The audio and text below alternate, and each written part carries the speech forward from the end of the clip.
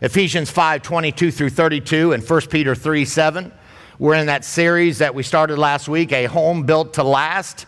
And uh, this week we're going to look at the husband's rule, role, excuse me. Uh, we're going to do one on the parents at the end. So this is strictly about a husband's role in the home towards his wife, okay?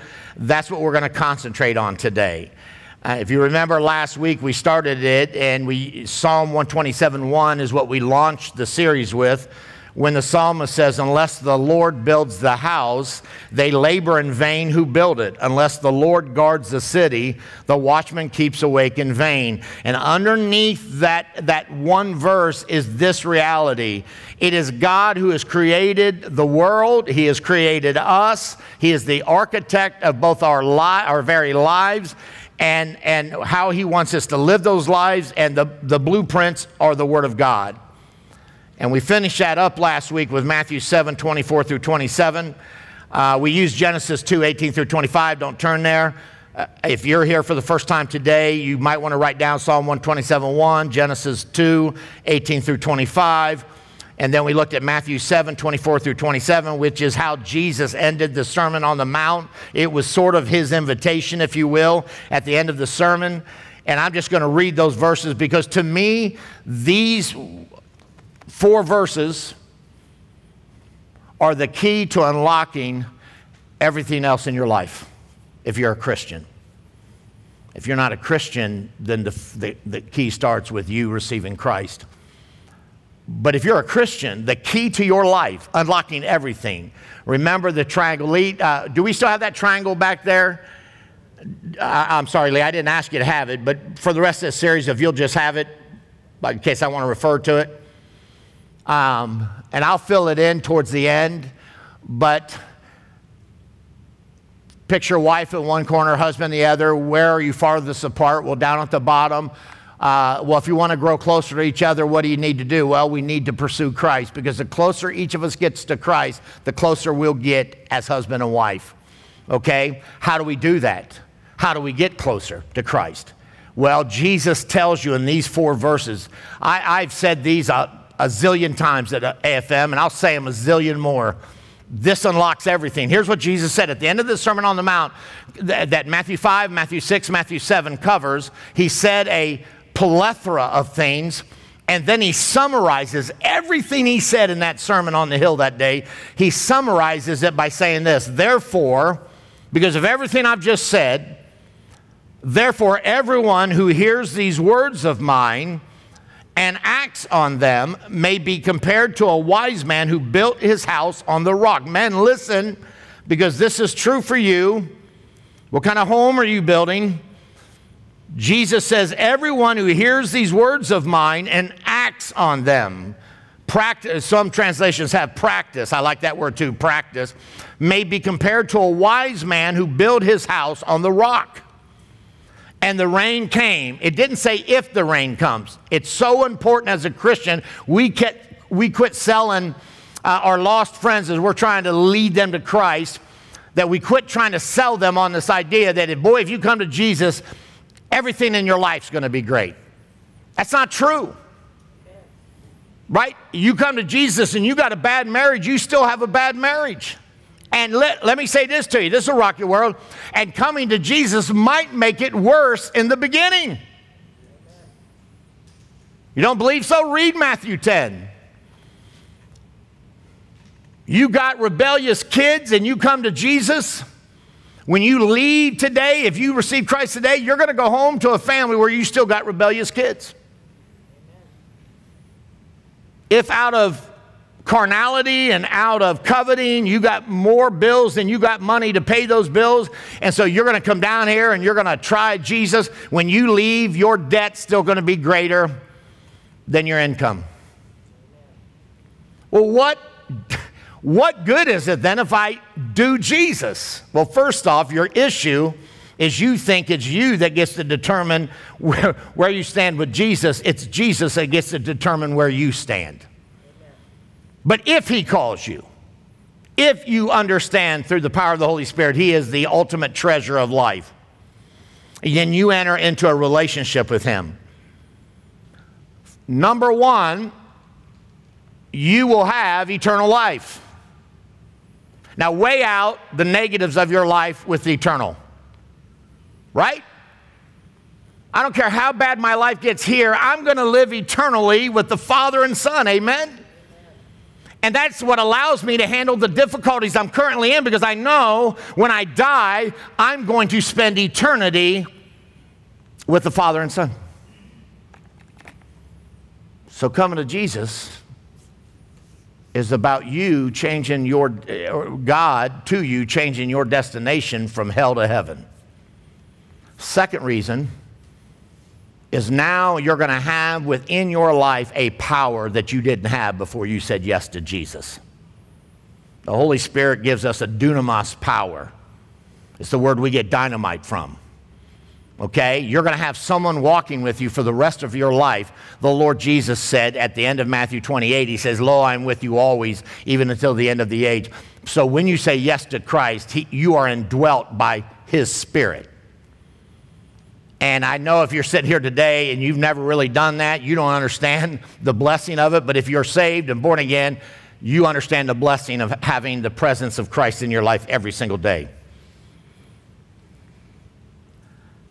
And if you come to Christ, if you surrender your life to Christ, your marriage might improve. Your relationship with your kids will improve.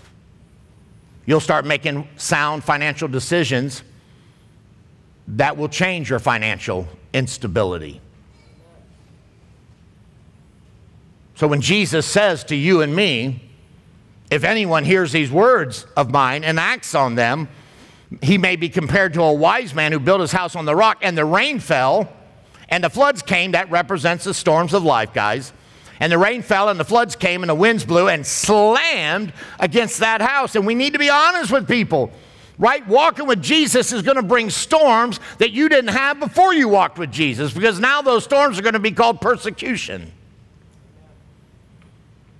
But when those storms come, because you are, your foundation is Christ, you're walking in His commands, when those storms come, you will discover, as all of us have who really walk with Jesus, that our house will not fall.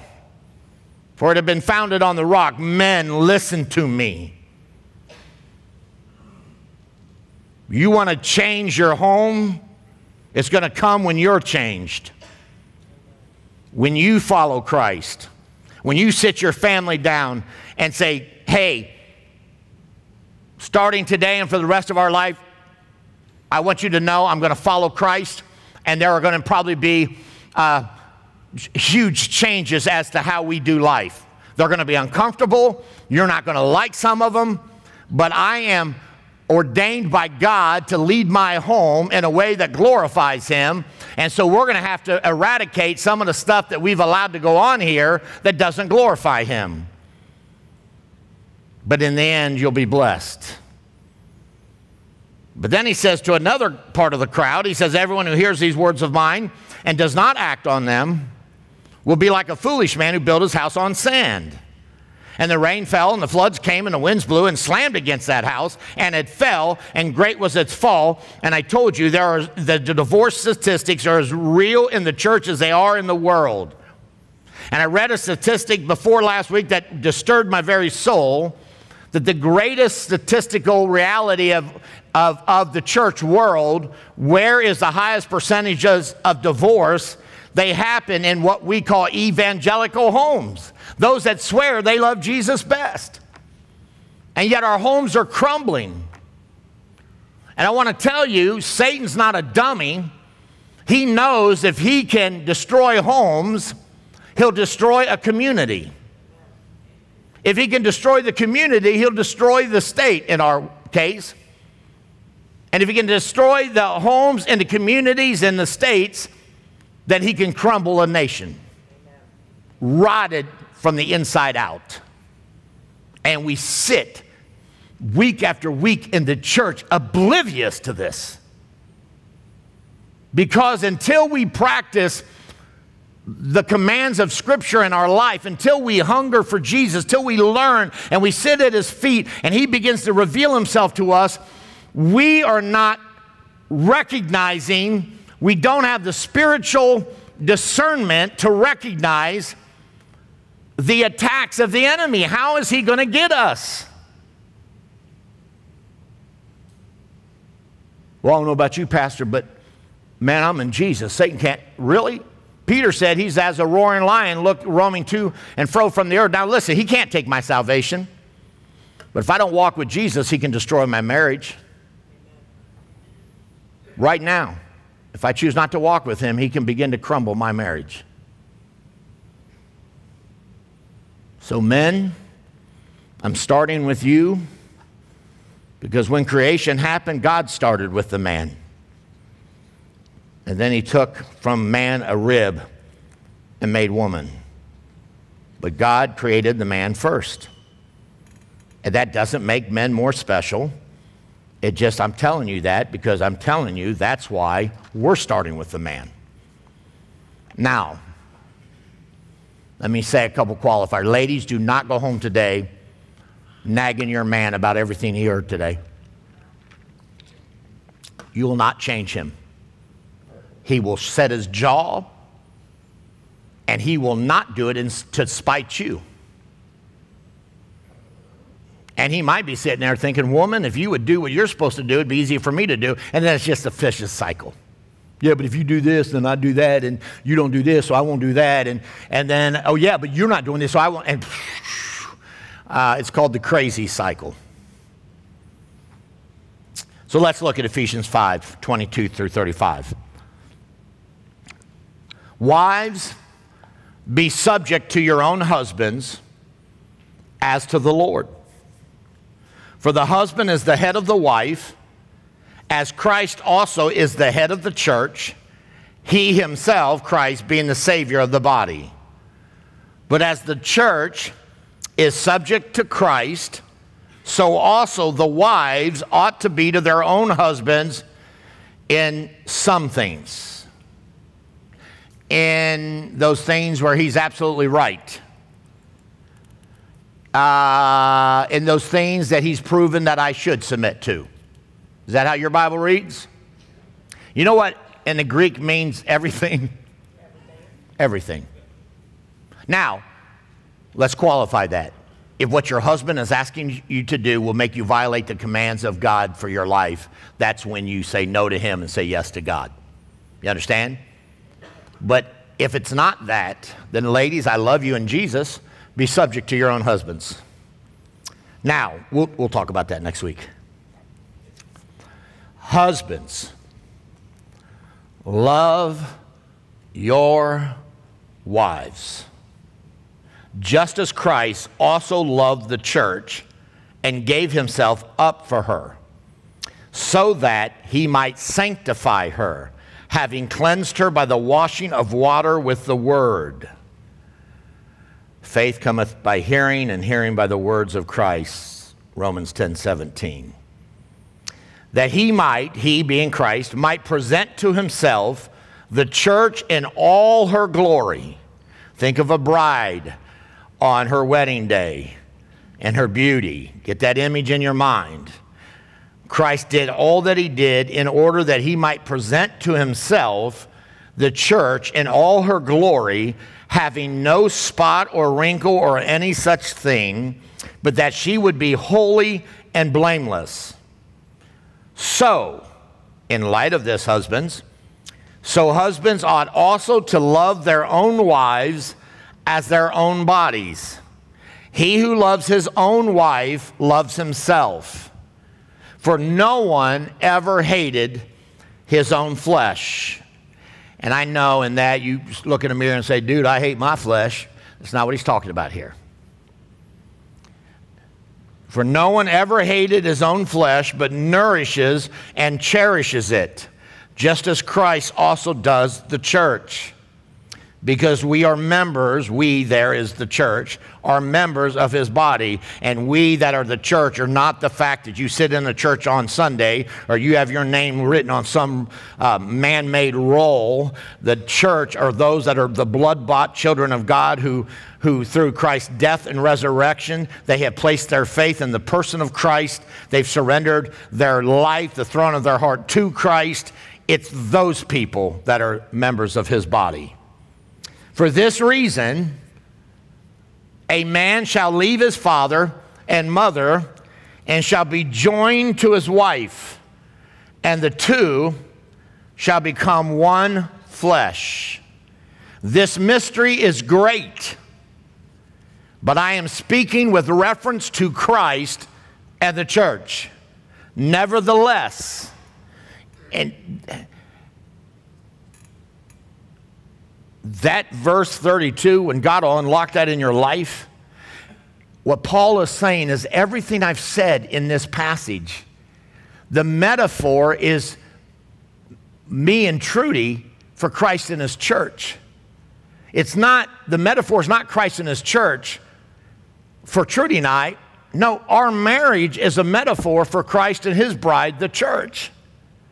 And that's what Paul's saying there. This mystery is great. This unseen union between the body of Christ and Christ. He said, it's a great mystery.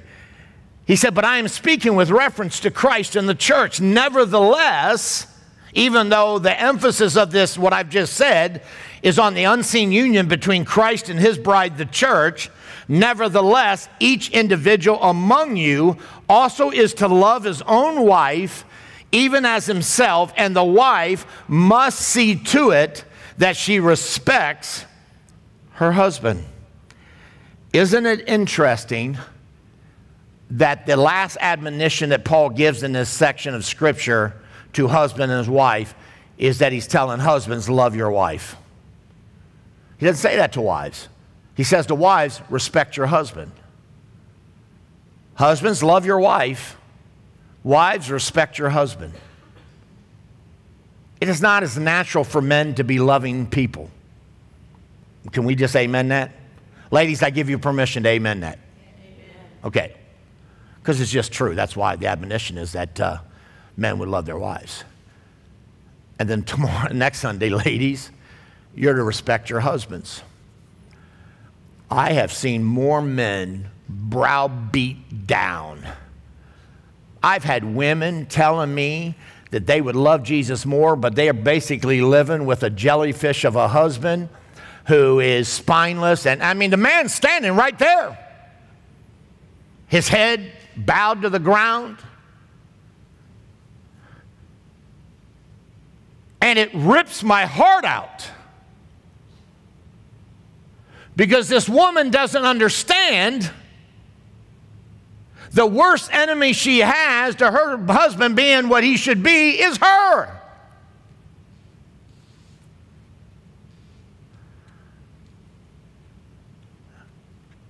And then I weep for men who allow themselves to be spineless jellyfish. And I just want to think what has happened in your life that has allowed you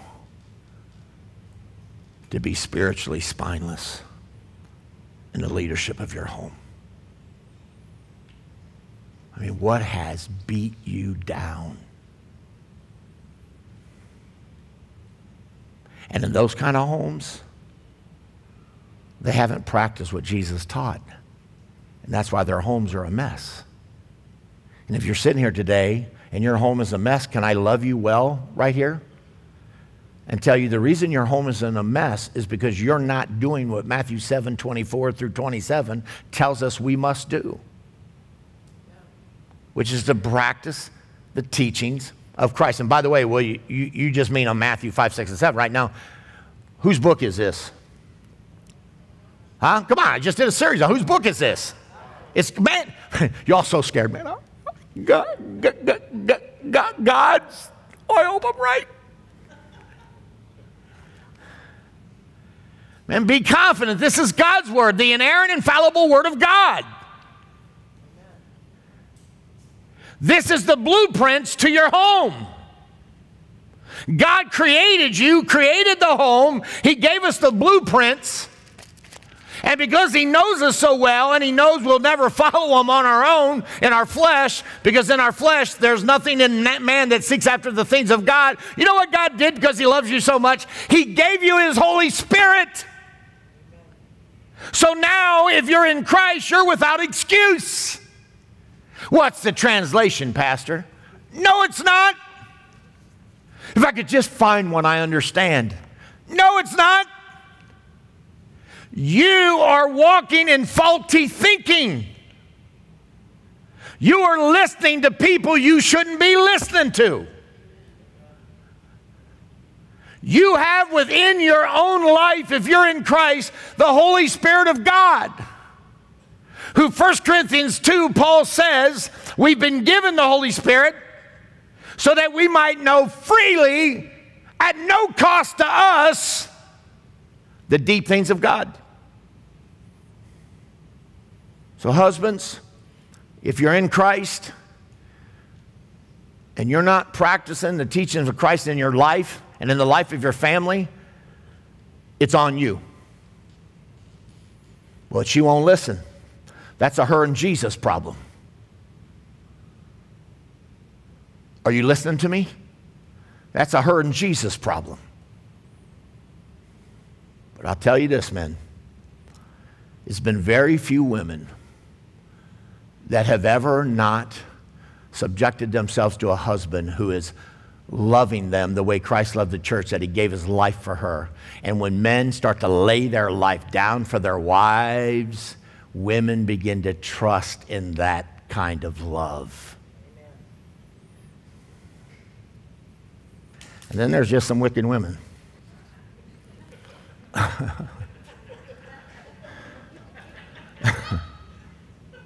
just some women that are wicked. And they need to be saved. And husbands, I feel for you. Because you're in for a long, hard road. And can I say a word to single people real quick? Kaylee, Kaylee Krieger. This is God speaking to you through me. I love you, Kaylee. Kaylee, Kaylee, shut up. Don't speak. Young ladies, you are picking the wrong young men to attach yourself to. If I ask most young ladies in this room, tell me the qualities you want in your dude, he's got to be cute, He's got to have a sense of humor. He's, he's got to like long walks on the beach holding hands. He has to like listening to the rain cuddled up. By the way, I like all those things. But anyhow, I do. I truly I do. But, but I'm a romantic, sorry. And you know what never makes their list when I ask them? If he loves Jesus. Because can I let you in on a secret, ladies? Men who really aren't in love with Jesus, you're getting the best version of them right now.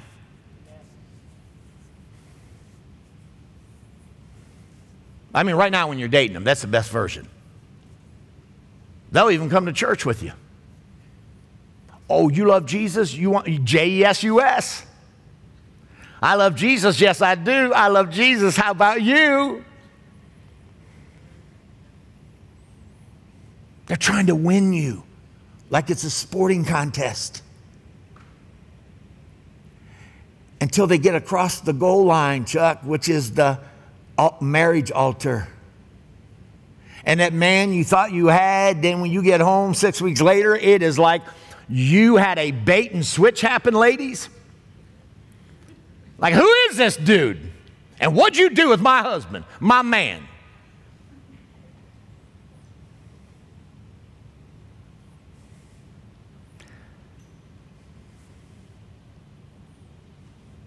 So, young ladies, listen up. I'm going to tell you three spiritual qualities that every man should possess before you ever say, I do. In fact, don't even date them.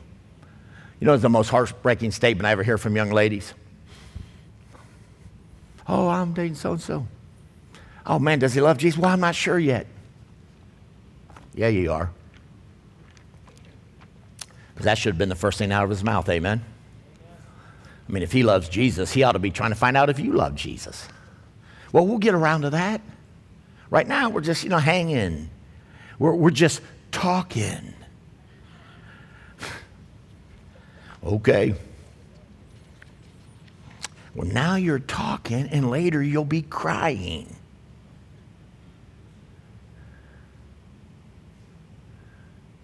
Vogue 17 and any other those goofy magazines are not the Bible. They do not know what they're talking about. Put them down, burn them, have a, have a magazine burning. And start listening to the architect who created you and gave us his blueprints. That's all I'm going to say to you, Kaylee. But I bet you listen now. Kaylee loves Jesus, man. I'm just joking. That's why I picked on you, Kaylee, because you love Jesus. Don't go home and tell your mom and dad, oh man, I'm a good believer. It's because I love you. Three things I want to give you today, real quick. You ready? Men, listen. Un- uncommitted young ladies or older ladies, you ought to write these three things down as I give them to you.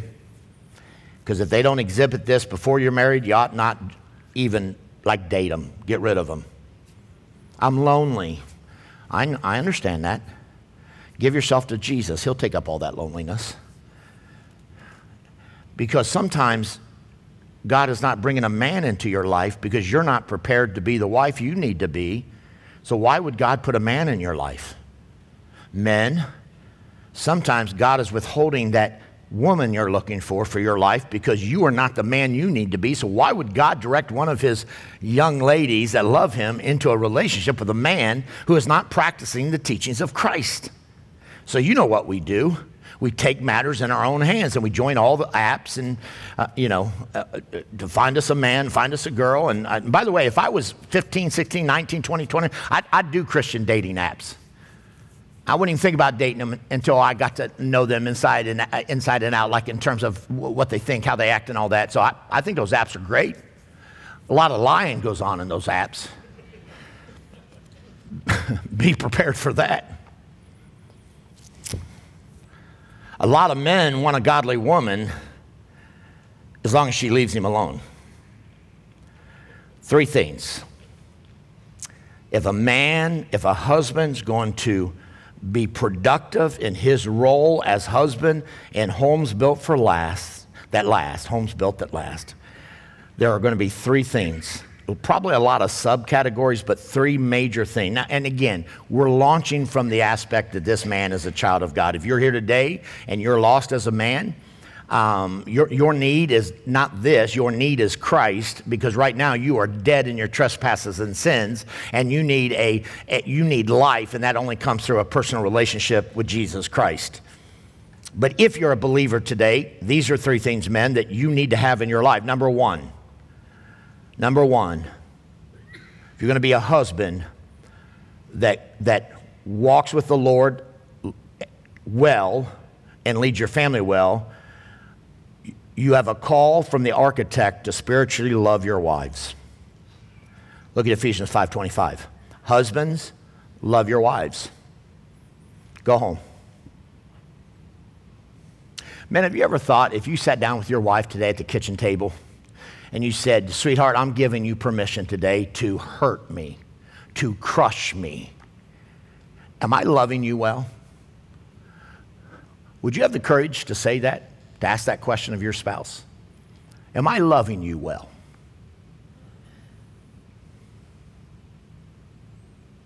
I wonder what they'd say. The command, Ephesians 5:25, husbands, love your wives, just as Christ also loved the church and gave himself up for her. The command that Paul gives us, or the Holy Spirit through Paul in Ephesians 5 for husbands, is husbands, love your wives. Now, the love that's used in the English there is the word agapo. It is the, the agape love of God. Our church, uh, agape family ministries, agape, the love of God. We want to operate in that. Uh, uh, ministries is what we want to do because we love God. And then uh, agape family, uh, excuse me, uh, family is because we are one family in Christ, one body in Christ. And so, husbands, the command of God for your life is that you will love your wives with the agape love of God. If you are born again men, you have this love inside you. Did you know that? It's there. And ladies, you might be sitting there thinking right now, well, you know, Pastor, um, I know uh, you say it's there, but I haven't seen it in about 10 years. I, I'd be all for him loving me with the agape love of God. Uh, Romans 5 says this. I'll, I'll, read it real quick. You ready? Romans 5, starting verse 1. I, I, don't know who's back there. Who is back there? Hey, Dan, if you can get there real quick. Therefore, having been justified by faith, which is how anyone enters the family of God, we have peace with God uh, through our Lord through our Lord Jesus Christ. And that one thing is the gospel, right? Uh, we're justified by faith. Faith in what? In the Lord Jesus Christ. When we have that faith in the Lord Jesus Christ, we have now uh, uh we are now at peace with God through Jesus, through whom Jesus also we have obtained our introduction by faith into this grace in which we stand and we exult in the hope of the glory of God. And not only this, but we also exult in our tribulations. Do you exult in your tribulations?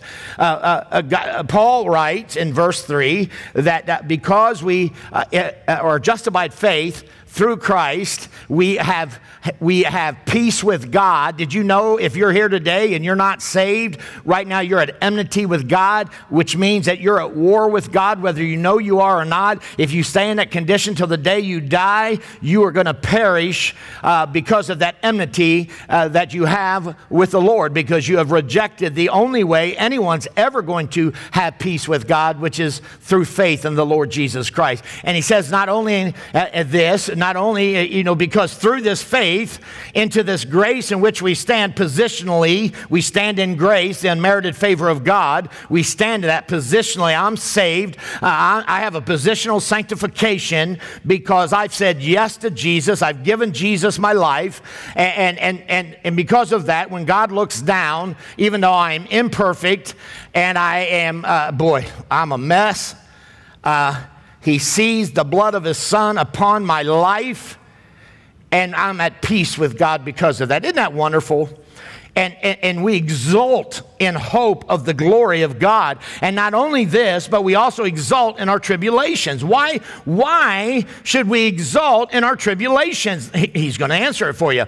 Uh, uh, knowing that tribulation brings about perseverance. So if you've been praying to God, oh God, help me with my patience, do you know what you're asking God to bring into your life?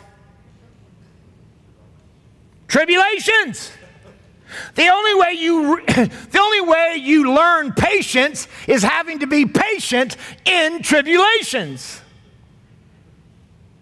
I ain't never praying that again. That's what you're saying right now, right? I, I, I'm not real good on that patience thing, but I'm good, God. I'm good knowing that tribulation brings about perseverance, and perseverance, proven character, and proven character, hope. And hope does not disappoint because here it is because the love of God has been poured out within our hearts through the Holy Spirit who was given to us. So when the Holy Spirit takes up residence in your life, you have the fruit of the Spirit. You know what else you got? You have the very agape love of God that's been poured into you by God through the Spirit. So, men, if we are not loving our wives with the agape love of God, one of two things is true about us. One, we're not born again. There are more people sitting in church every week in America that are religious lost. They think they're Christians because they say so, when in fact they've never, ever surrendered their life to Jesus Christ. They prayed a prayer. They got dunked. Now, woman, get off my back. I jumped through the church stuff for you. No. No, listen to me. I said something week one, and, and, I wasn't trying to brag, and it's bothered me all week. I wasn't. I was trying to make a point, and I think I, I lost the point with words. I have a great marriage. When I say great marriage, I'm talking about perfect marriage because Trudy's married to me, so it can't be perfect. My baby's got like that Mary Poppins bag, you know what I mean? Where she just keeps pulling out all this great stuff. She's got this measurement. Mary, I love that movie. Mary Poppins pulls it out. Oh, let's measure you, and pulls, and, and so it gets to her, and it's uh, uh, what is it that Mary that that tape measure says something about almost perfect in every way. Well, when you pull my tape measure out, it don't say that. I'm forgiven in every way. Amen. Praise God for positional grace. How on earth, Pat, could God take me, who grew up in a broken home? My dad left my mom and the seven kids. I was maybe two or three, and he rolled on us and abandoned us. My mom hated men, literally hated men, because her father was abusive, her husband was abusive, and so her only idea of what a man looks like was the father and the husband, and it made my mom very bitter towards males. So that's the environment I grew up in. My mom favored the girls and really couldn't stand us. She favored the girls so much that when she moved to Colorado, she took the girls and shipped boys off to a dad that we never even knew.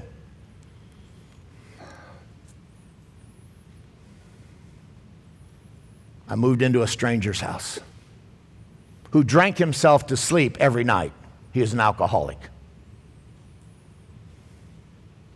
That was my experience growing up.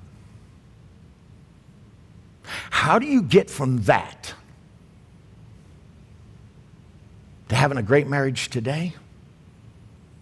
Being the husband that I know that I am? I know that I am. I'm not perfect, but I'm a good husband. I know I'm good because the Word of God tells me what I should measure my husband stuff with. And I'm, I'm, I can amen that stuff. I'm not a phony husband. Man, I, I love my wife. When I laid awake the night before my wedding, I, laid, I stayed up all night staring at the ceiling. I was sharing a hotel room with my best man, Les, and, and the whole night I just stared up at the ceiling. And here was what I basically had to talk with God, like on, on, on a loop God, I've ruined everything I've ever touched. God, there is not one thing I can point to in my life that I've succeeded in.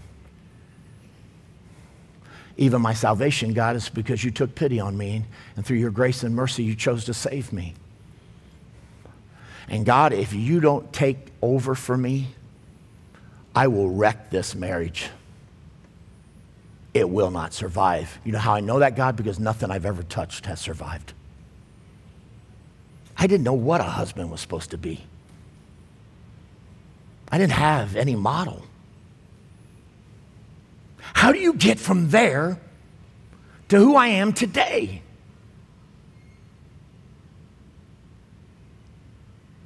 It is by surrendering the control of your life, men, to the Lord Jesus Christ and practice his teachings and let him begin to take over your life and to shape you into the man that he wants you to be. That is the journey. And it's the journey for every man. Now, some of you had great models of dads and husbands. I didn't have any. Not, not only did I, I, I not only was he not a good model, he, he abandoned us.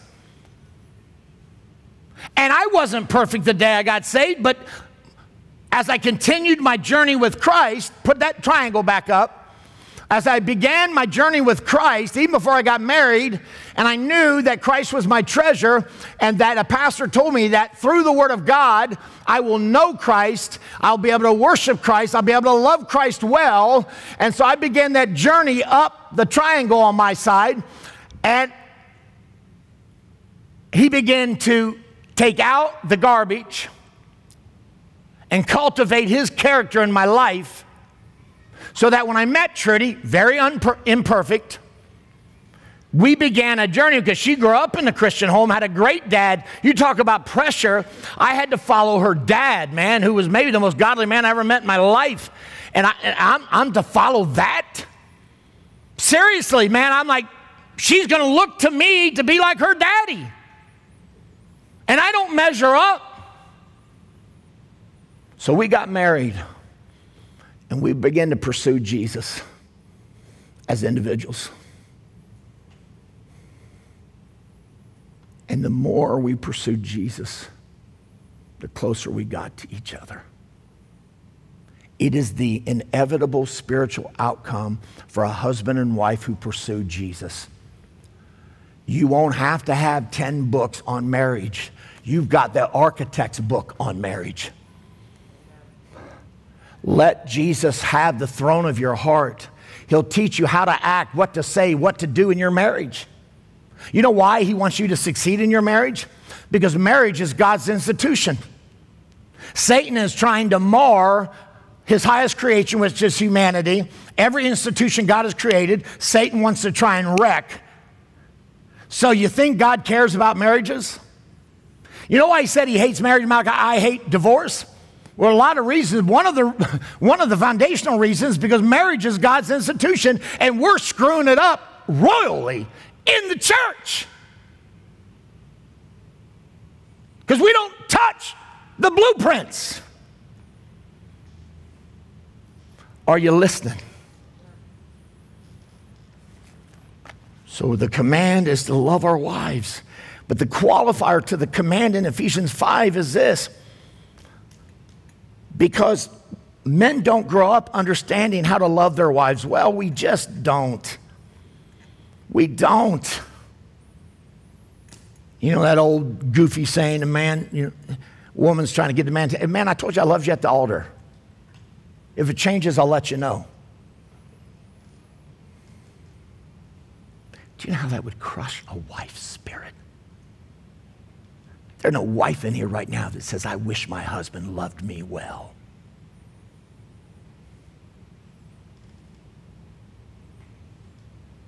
So, so what love, men, are we to model our love for our wives after? Easy. Look, husbands, love your wives just as Christ also loved the church and gave himself. So we see a command that we're to love our wives with the agape love of God, which, by the way, Romans 5 has said is shed abroad in our hearts, Pat. So we're without excuse. If you're born again, you're without excuse if you're not loving your wife well, because God has placed within you everything you need. You have the Holy Spirit that'll tell you when the meter's going the wrong way, right? If um, you're not loving well, He's going to let you know.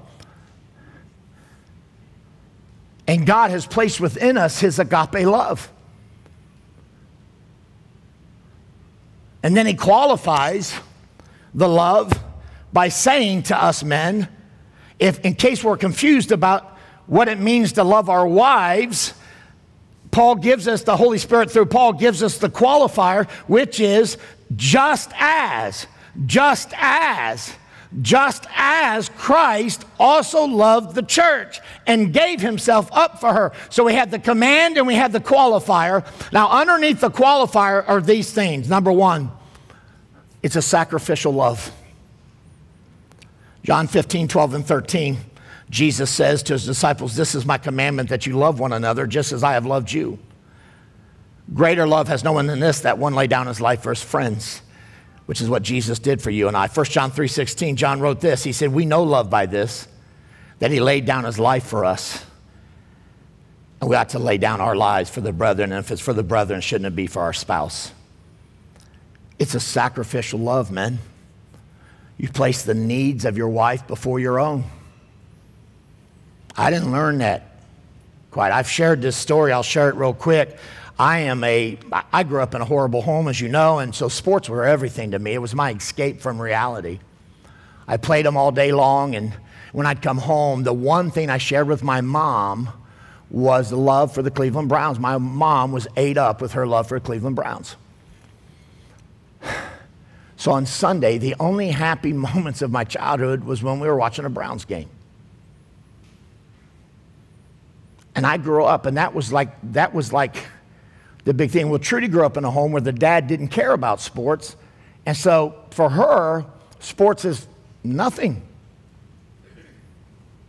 Our first great conflict in our marriage was I wanted to watch sports, a lot of them because sports to me represented my happy space growing up.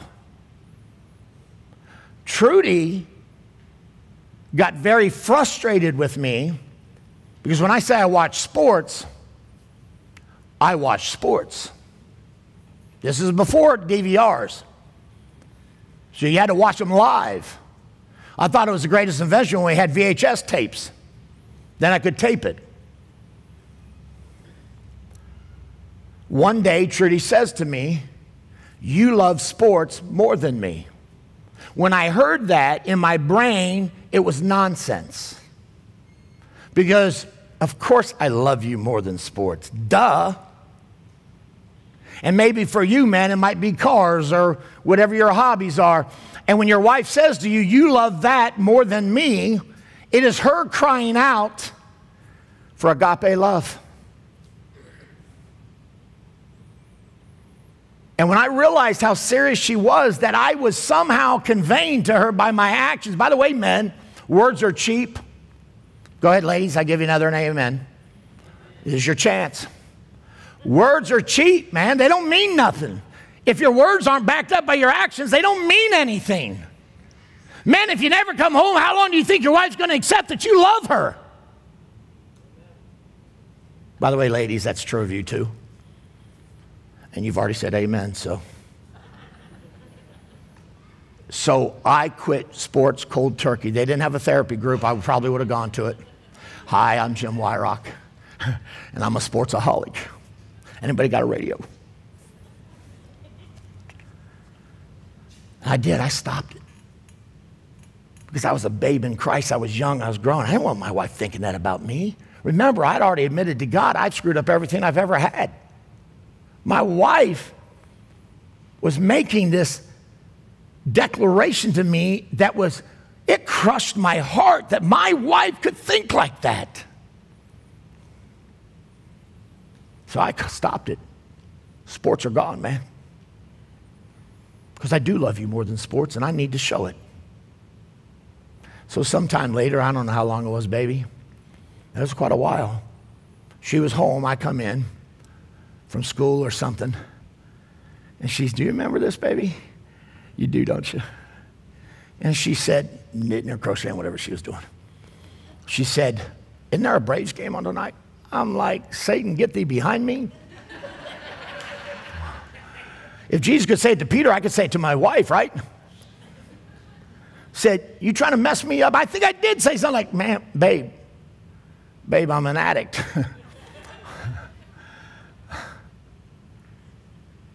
I was confused for a second, like, is this like a test? Right? Like, and here's what my wife said to me Listen to me, man. Babe, I never cared about you liking sports unless and until it so dominated your life that you love them more than me. So then we I slowly integrated some of the things back into my life, but always with the understanding I can't put this above my wife. You see, it wasn't that it was bad, man. It wasn't that cars are bad, sports are bad, whatever your hobby thing is. But when you allow it to trump your wife, which should be the most meaningful relationship on this earth, you've got a problem. And if that is true of you today, and I dare you to go home and sit your wife down and say, Baby, is there anything you see above me? If you have any courage, you ought to ask her that. And ladies, if he asks you that, make sure the kids are out of the room. And you be real with him. Pastor, all you're going to do is create a fight. Listen to me, I don't know how you change unless you first admit there's a problem. Right? All those 10 steps, 12 steps, 19 step programs, what, what do they all start with? First step is what? What is it? Boom. Because why would you do the other nine steps? You're only going to do them if you know you got a problem. And we,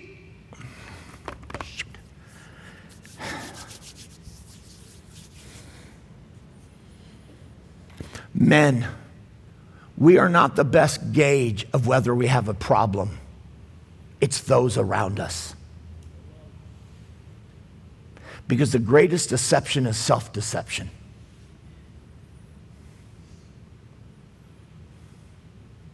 We can talk ourselves into and out of anything we want.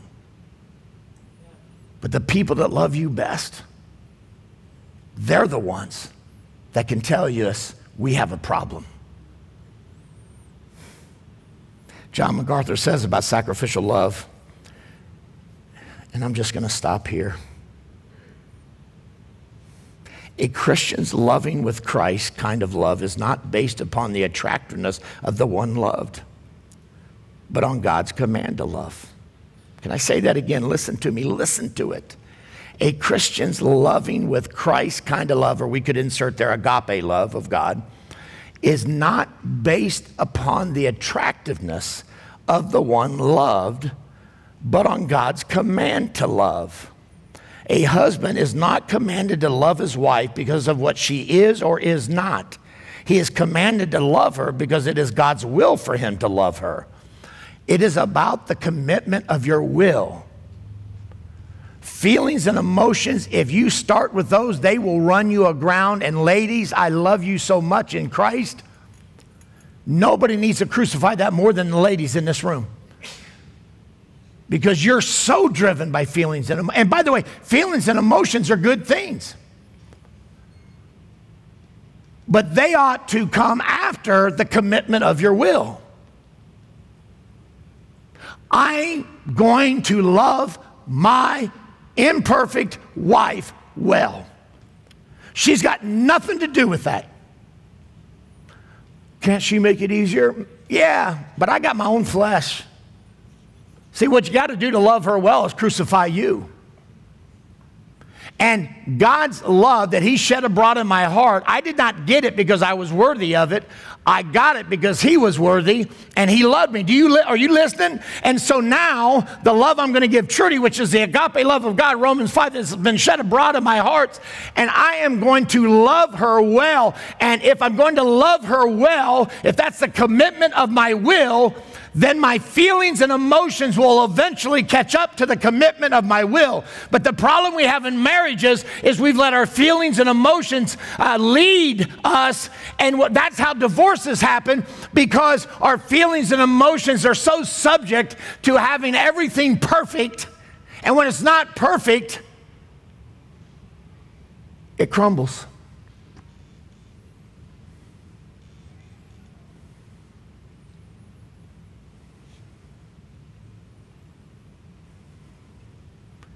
It's a commitment of your will. That's why Jesus said in Luke 9 23, Dan, if you can pull that out. We're stopping here, so don't freak out.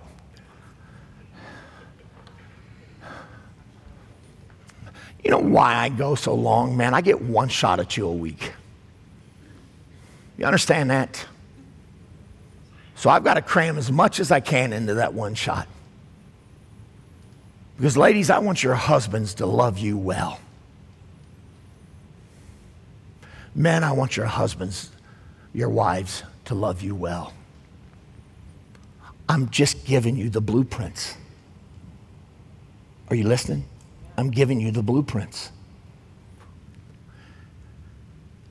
And he, Jesus, was saying to them all, If anyone wishes to come after me, he must deny himself. Do You see anything in there about feelings and emotions that should drive us to follow Jesus? You know what he's saying? We've got to die to us. We got to make a willful decision that I'm going to die to me. He must deny himself and take up his cross daily and follow me. Can I ask you something if you know anything about the cross? Exactly when do you think you're going to wake up with feelings and emotions that will drive you to pick up a cross? Which is why most of us aren't picking up the cross. We're waiting for our feelings and emotions to kick it in for us. They never will. I wake up every day with two overriding thoughts How do I honor Jesus? And how do I honor my wife? Men, I literally wake up with that every day. How do I honor Jesus? And how can I honor my wife today? Well, it's easy for you. You got Trudy. Dude, dude. It's a commitment of my will. I'm going to honor her today. Any way I can.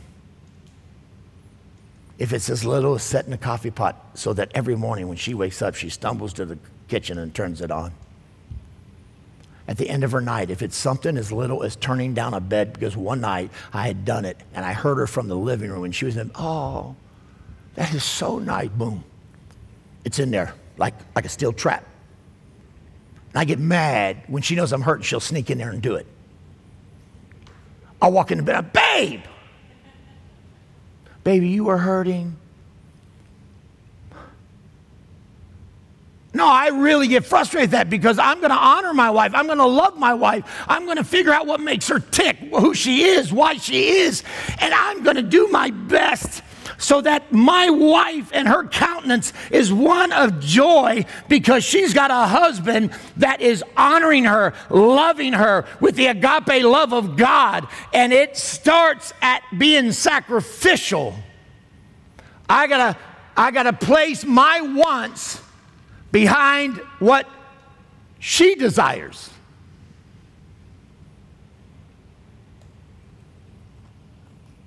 Doesn't it get old? When I'm in my flesh, it gets very old because my flesh wants its way. And that's how one of the ways I can tell whether I'm in my flesh if it grinds me. flesh, flesh, flesh. Really?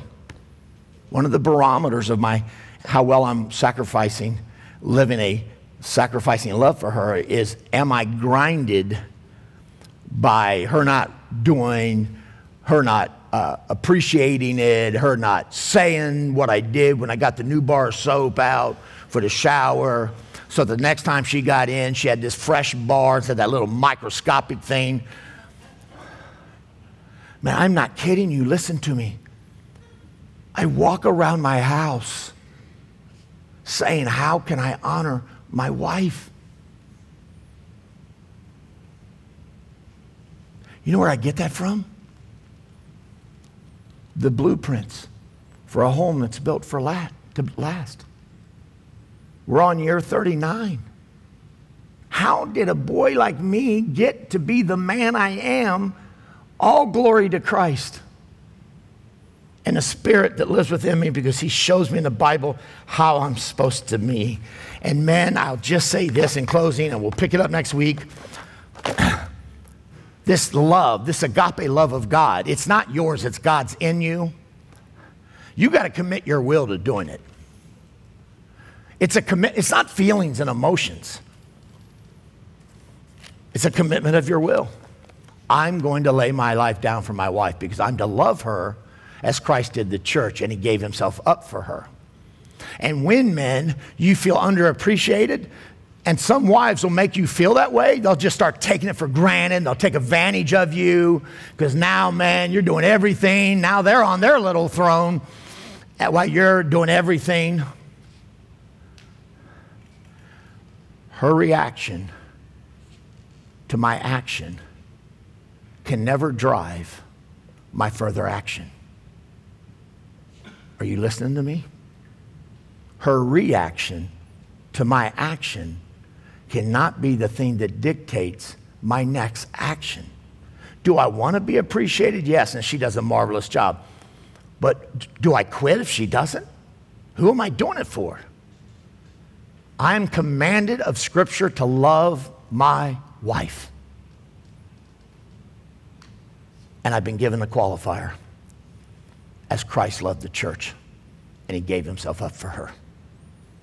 Jesus said, There is no greater love than this, that a man would lay his life down for his friends. Well, if he'd do it for his friends, shouldn't he do it for his wife? Do you understand, men, the number one relationship in your life is your wife? Kids are going to grow up and leave. You know, there are, there are, there are adults been married 30 years that get divorced. I never understand 30 years and how you're going to get divorced. They had built their whole life around their kids. When the kids left, they didn't have anything in common. They looked at each other and like, you're a stranger to me. Not me. Nah, I told Trudy, no, no, no. And them kids left. Best years of our marriage are right now. we love being empty nesters. Don't get me wrong, I love my kids. Nice to visit. I'm a four hour poppy. I can do about anything for four hours. Then you got to come get them. We say no sometimes to our kids and grandkids. No, we won't keep them tonight because we're going to do an in house date. I wonder if your kids get, sure, they get mad at me. I don't care. My number one relationship on this planet is my wife. It's not my kids, it's not any of you, it is my wife.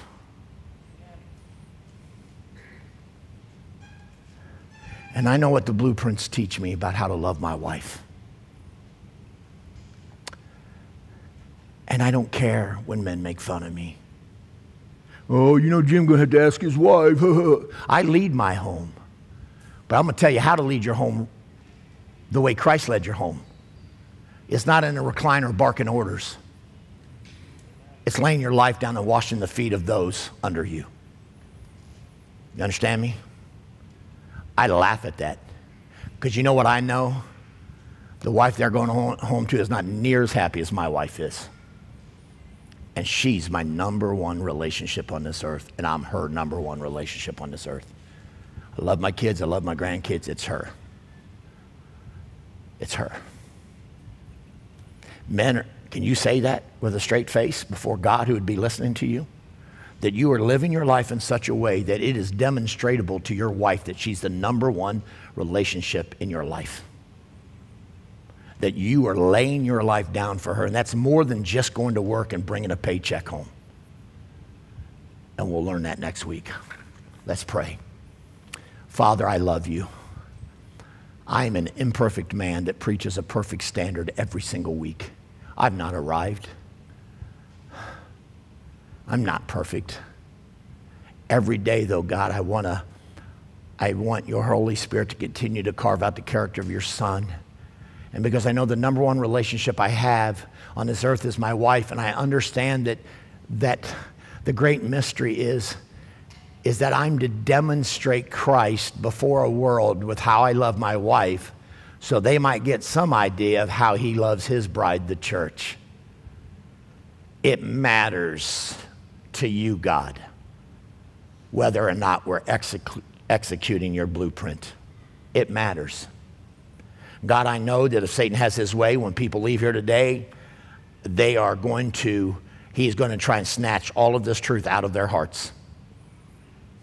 I know there will be wives that leave here today thinking, oh, how great would it be? And will leave tonight, go to bed tonight broken when a husband hadn't even asked to talk. Lord, on behalf of those wives, I pray for them. I pray for their husbands. Oh God, help men to understand it is a commitment of the will. It is not the butterflies you got when you dated your wife. It is a commitment to wake up every day to die to self, live for Jesus, and love our wives with the agape love of God. And men, maybe if we didn't know it before, we know it now. Romans 5 makes it clear if you're in Christ, if you're justified by faith, and positionally you've experienced God's grace, then His love has been shed abroad in your heart. The only question is, are you operating in it? And then what are you going to do when you leave here, men?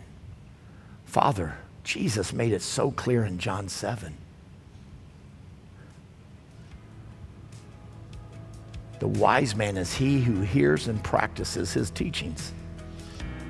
Because storms are going to come to every marriage, to every family. Inevitably, we live in a fallen world. We, we battle our own flesh and that of our spouse. Life is hard. Jesus was admitting life is going to be hard. But if you will love me, serve me, surrender to me, here's what I promise you I'll create a home for you that will stand against the storms of life. Jesus, I know some will go out of here. And the minute they hit that door, they won't think one more minute about this. And those men are building on sand. And one day, the storms of life is going to crush their home. Because storms reveal your condition. They don't make your condition. They just reveal it. I love you. Thank you for saving a wretch like me. I promise till the day I die, I will never quit telling people about your great love as seen through your Son, Jesus Christ.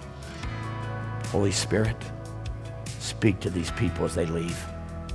Speak to husbands, speak to wives, and help us men to have ears to receive what the Holy Spirit might speak to us through our wives today. It's difficult, it's hard, but growth only happens through going through the difficult moments, hand in hand. I pray this in Jesus' blessed name. Amen.